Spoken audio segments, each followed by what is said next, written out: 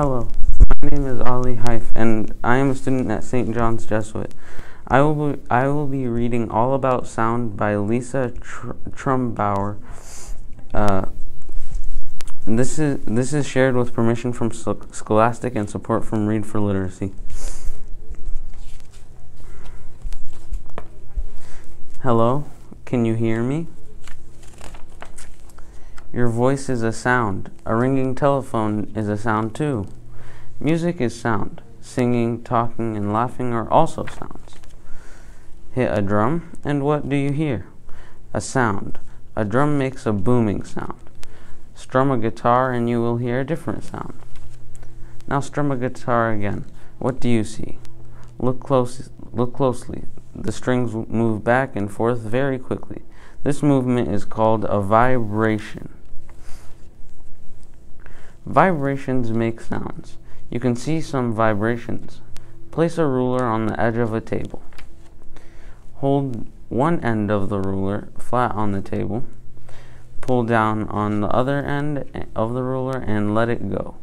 The ruler vibrates. The ruler also makes a sound. You can feel some vibrations. When you speak, your throat vibrates. Put your hand on your throat and sing. Do you feel vibration? The vibra- vi- vibrations? You can feel other sounds too. Put your hand on the radio. You can feel it vibrate. Turn off the radio and the vibrations stop. Sound can travel. You can hear someone shout across the room.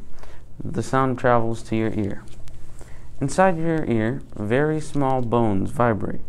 These vibrations send messages to your brain. Your brain tells you what you hear.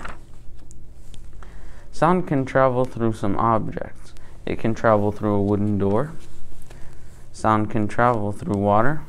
Dolphins and whales talk underwater. You can make sounds too.